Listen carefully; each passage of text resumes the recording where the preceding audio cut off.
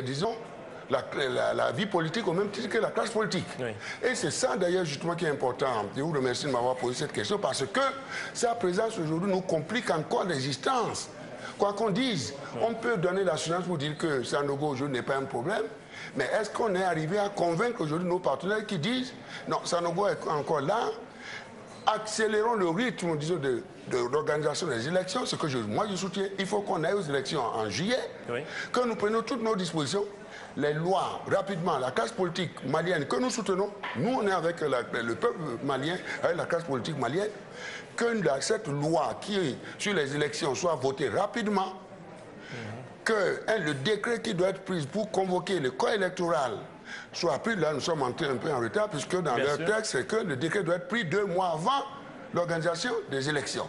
Et là, nous verrons, mais il faut accélérer le processus de manière à convaincre. Il faut que la classe politique plus, plus politique malienne puisse pouvoir convaincre la communauté internationale, puisqu'il y a certains partenaires... Il faut un choc démocratique, si on peut dire, pour restaurer une légitimité au pouvoir en place à Bamako. Parce qu'il y a certains partenaires qui disent nous ne pouvons pas aider un gouvernement non légitime. Exactement. Donc, pour nous aider, ils doivent passer, jouer le rôle de leadership et convaincre plus d'un, de manière dans leur volonté d'aller vite vers les élections. Nous sommes prêts à les aider.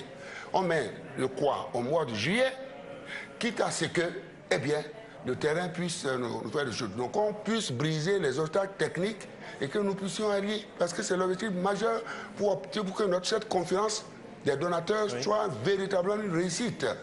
Autre question, vous l'avez évoqué, Monsieur le Président, la question sécuritaire importante euh, au, nord du Mali. Vous l'avez dit, c'est pas un problème malien, c'est un problème terroriste, un problème régional et, international. Euh, il y a les djihadistes, les terroristes, donc ACMI, euh, Al-Qaïda au Maghreb islamique, mais il y a aussi des bandits, des, des trafiquants de drogue et qui sèment d'ailleurs la terreur euh, et le désordre, non simplement au Mali, mais dans, toute la région. On, parle aujourd'hui de l'Afrique de l'Ouest comme d'une plaque tournante euh, du commerce de la drogue internationale. Est-ce que vous, en tant que chef d'État du Bénin, et avec vos pairs de la région, vous avez pris conscience de ce fléau? Énormément. Énormément. qu'est-ce que vous faites concrètement pour le Nous avons la responsabilité d'assurer la sécurité de nos peuples. On ne fait que ça. Cher ami, demandez-moi combien j'ai commencé par affecter au niveau du budget. La part qui est réservée aujourd'hui à la sécurité. Elle est plus importante que par le passé. Alors que c'est une partie que je dois réserver pour le, la prospérité de, de, de, comment, notre peuple. Et ce que, ce que je dis, ce que je dis reste vrai pour mes chers collègues. Donc c'est un défi maintenant. La question de la sécurité, disons, de la sous-région. Et c'est pourquoi d'ailleurs, en réalité, autant nous devons nous coaliser pour régler la question du Mali. Et moi, je crois beaucoup en Dieu. J'encourage mes, mes frères maliens. Pour moi, nous allons aboutir à ça parce qu'ensemble, nous, serons, nous sommes plus forts. Maintenant, aller au-delà, ces terroristes aujourd'hui qui sortent du Mali et qui se baladent en ce moment dans, toute la zone sahélo-sahélienne, même dans les pays voisins, dans les montagnes, etc. Bien sûr. La question de la Libye. Mes frères libyens, nous devons les aider aussi pour régler, pour normaliser, stabiliser ce pays. Parce qu'une bonne partie alimente aujourd'hui cette bande, cette zone. Et d'autres pays, moi je n'en sais rien, le Darfour, etc. Mais je ne peux pas peut-être nier que, que, ces terroristes-là soient dans chacun de nos pays. Peut-être au Bénin, je n'en sais rien. Donc ça veut dire quoi? Il faut un programme consolidé de pacification de toute la zone euh, sahélo-sahélienne. Et je crois que cela relève de la compétence de Romani Prodi, qui est l'envoyé spécial des Nations Unies. Maintenant que les Nations Unies ont pris, ont décidé de prendre tout le dossier en main.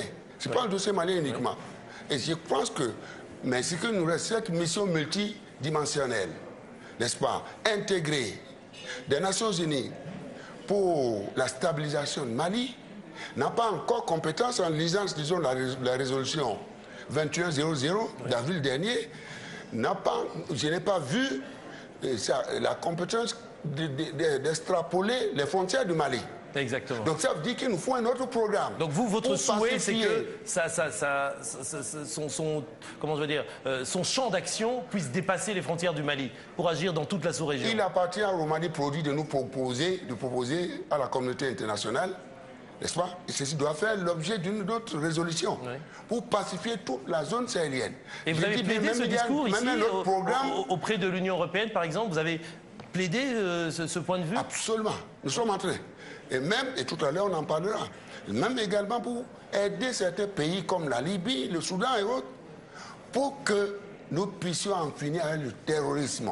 Et que les pays qui ont des problèmes de, euh, cohésion nationale, n'est-ce pas, puissent avoir euh, l'assistance de toute la communauté internationale, de toute notre sous-région. C'est de ça qu'il s'agit aujourd'hui parce que, en réalité, sans la sécurité, point de liberté, sans la liberté, point de démocratie. Or, c'est le point de départ de notre marche vers la prospérité. hier, nous avons dit au président de l'Europe que désormais, dans le partenariat stratégique qui nous lie entre l'Europe et l'Afrique, il faut intégrer naturellement, créer l'instrument, c'est-à-dire intégrer le volet sécuritaire, qui doit être un, je crois, un instrument important d'intervention de ce partenariat au profit des États membres. Mais est-ce que, à l'intérieur, nous, à l'intérieur, nous aussi, nous puissions fournir notre effort. Nous sommes décidés à prendre en main notre destin. Mais, Monsieur le Président, est-ce que, vous pensez, de est-ce que vous pensez que l'Europe va être euh, sensible euh, à cette demande, vu que ça, il a passé 5 sur 5. vu, vu qu'en Europe, à part la France, les autres pays sont allés timidement au Mali? Nous sommes en train de sensibiliser.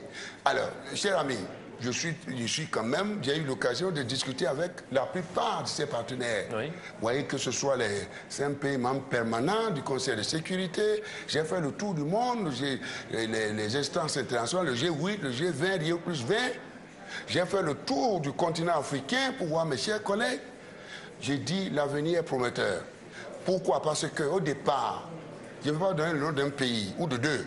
Au départ, c'est dit, mais écoutez, et vous nous parlez du terrorisme international. C'est une affaire africaine.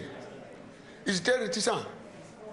Moi, j'étais, par exemple, je, le dis, je vous le dis, j'étais au Canada avec mon ami Stéphane Harper. Harper, oui. Pour aller parler du Mali. Cher ami, la situation est grave.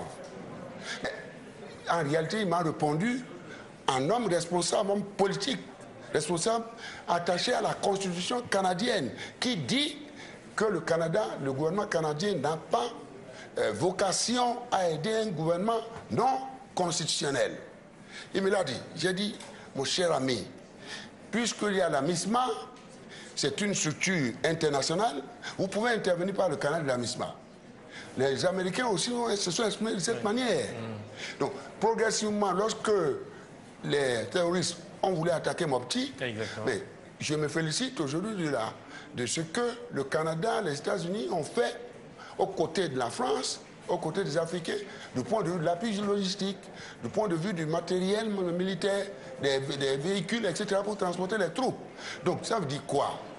Il y a de l'espoir. Tout le monde est en train de comprendre progressivement que la, question du terrorisme, la question du terrorisme qui se passe aujourd'hui dans notre zone relève de la compétence de la communauté internationale. Mais je dois vous dire, c'est très important, nous sommes, on l'a dit, qu'on va prendre nos responsabilités, notre destin en main au sein de nos, de nos communautés économiques régionales, nous allons mettre, en place, euh, régler la question de la sécurité, la démocratie et le développement, l'aménagement du territoire au sein de, de chacun de nos pays.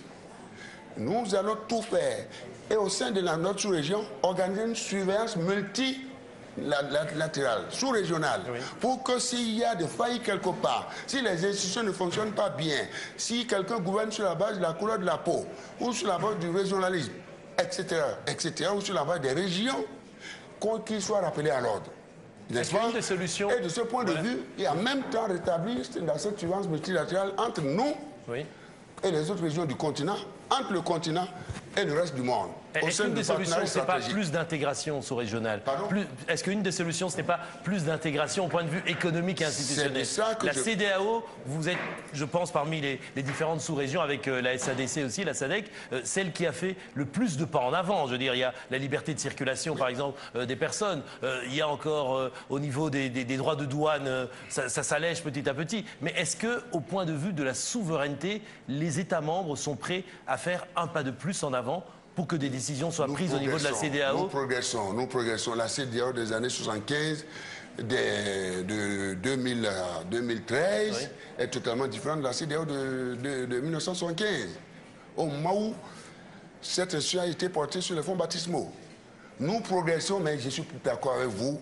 Les mutations qui affectent le monde sont telles que nous avons le sentiment que, nous, que le rythme est là.